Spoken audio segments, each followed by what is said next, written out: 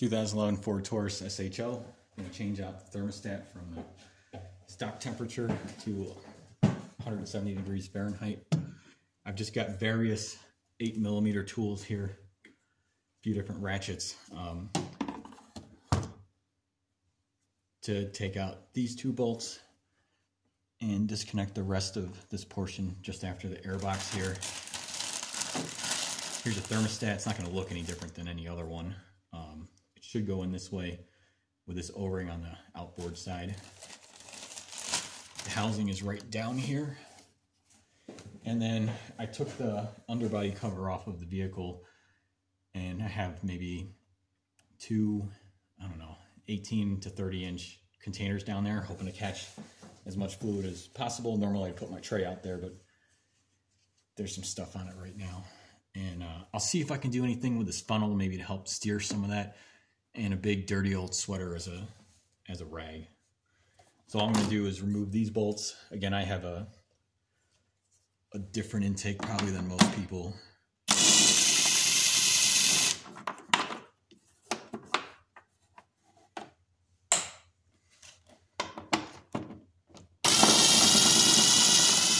And everything here should be 8 millimeter. I do have a torque wrench out also because we'll have to torque everything on the thermostat housing down at 8 foot-pounds.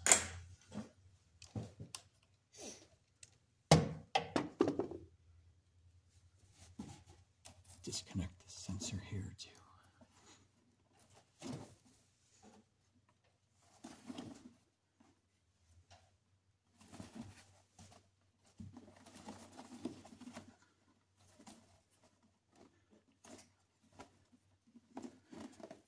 There we go.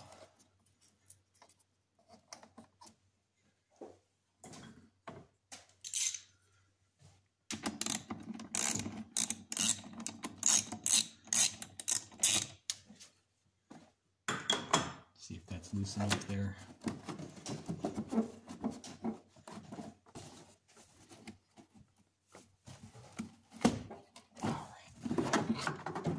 Goes the air box. I'll actually clean this out. It's really just spray it down with simple green cleaner and rinse it from the inside out. I'm not going to make a, a video for that.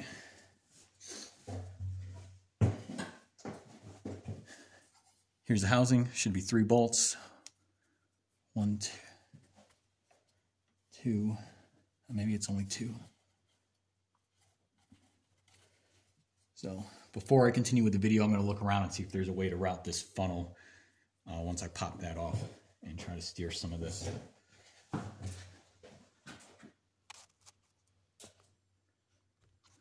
So it's not pretty, but none of my funnels were going to work. So I drilled a half inch hole into this cap and started cutting this guy up.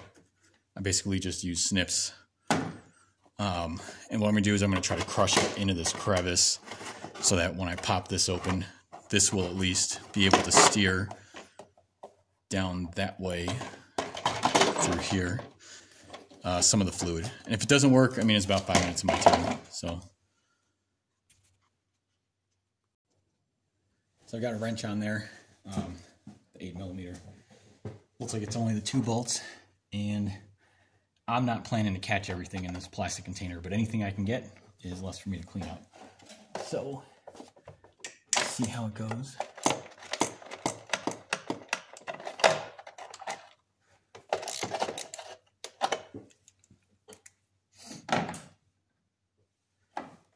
When this opens up, there shouldn't be a lot of coolant coming out from here. But when I pop the thermostat off, we should get a pretty good rush.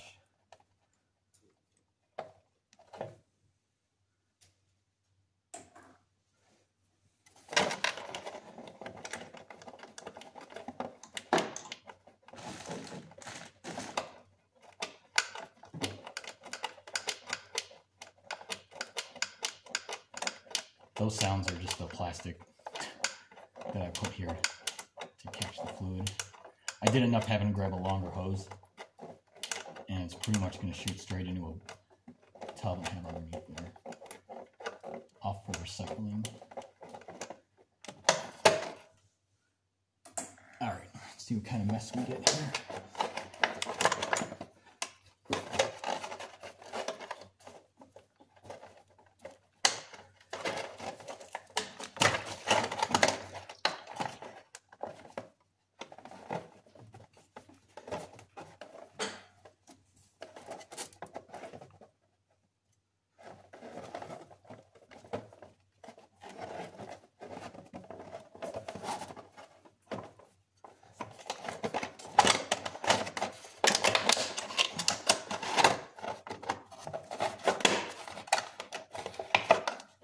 All right, I got my tub kind of positioned under there. Uh, we'll see how this goes. If I can pull this out the hand. Nope, I'm just gonna get a screwdriver in there, try to pry it.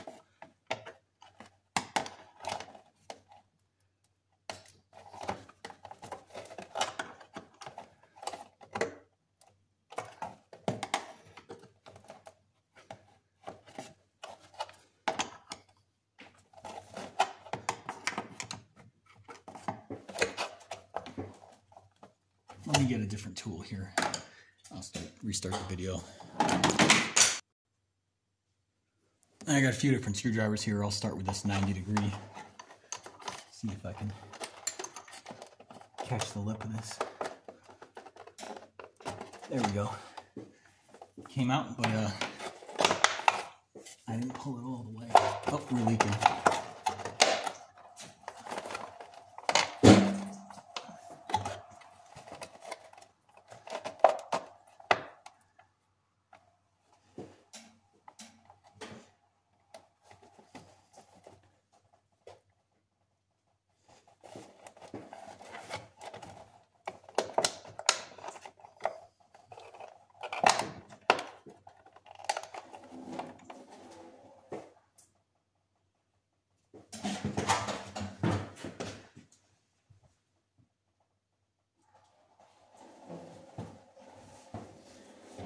All right, so I didn't catch it all, but this is grabbing it and steering it down that way. So I get to use my big rag as a cleanup later.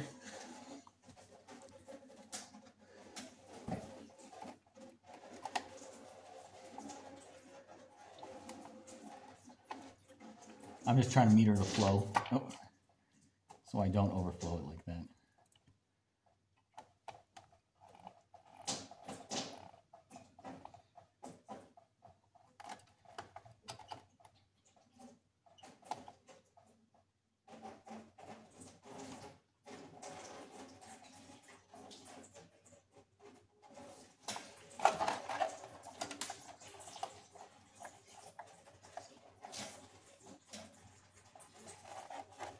All right, we'll let that drain for a minute.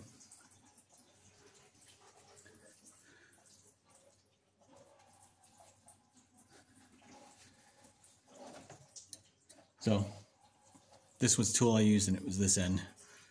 Not necessarily what I recommend, but it worked today.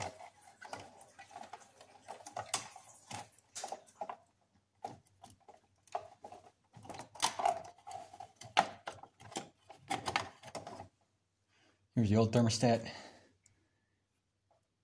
and the old O-ring, which this is less of an O-ring and more of a an actual gasket, but the new one has an O-ring.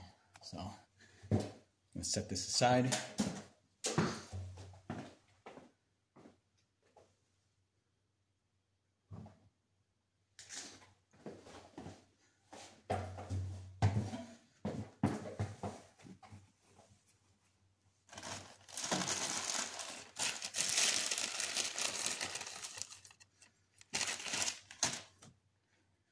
The new thermostat in.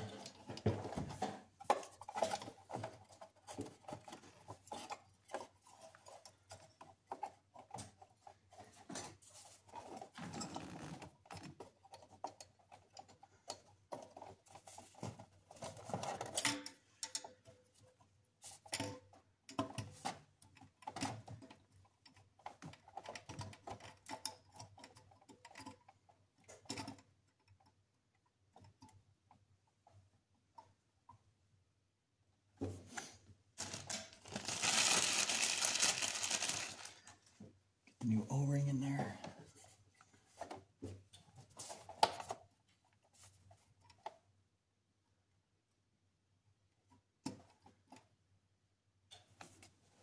Just gonna do a quick look, see if it's centered. I know I can't tell on the camera. Looks pretty good.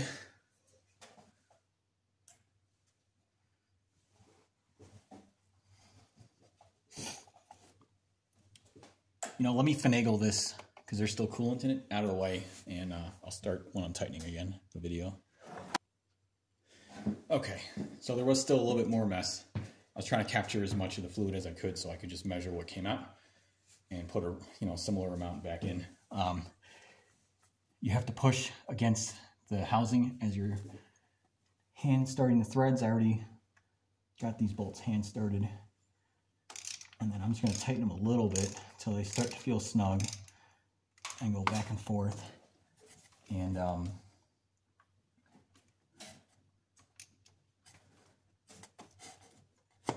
these go to eight foot pounds or on this torque wrench. It'd be 96 inch pounds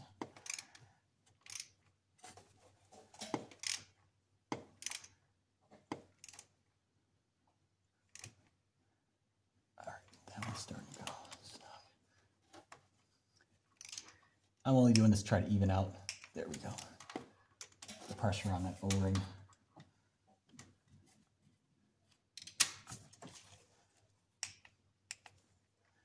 Not a lot of torque.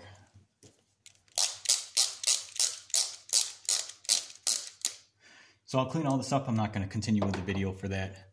There's also the putting the intake back in, but again, I'm going to clean that air filter. Not going to do a video for that one either. Uh, I will have to refill some coolant in the reservoir. So I've got the, the unmixed Ford Green, which was the OEM specialty coolant. It says VC10A2. So I'll do 50-50 distilled water. Uh, I think the procedure is you run run the vehicle at idle for 10 minutes, loosen the cap up afterwards, and once it cools down, um, fill it, and then you do 2500 RPM for 10 minutes. So I'm not going to do a video of that. Um, and then I'll check it after a few drives. All right.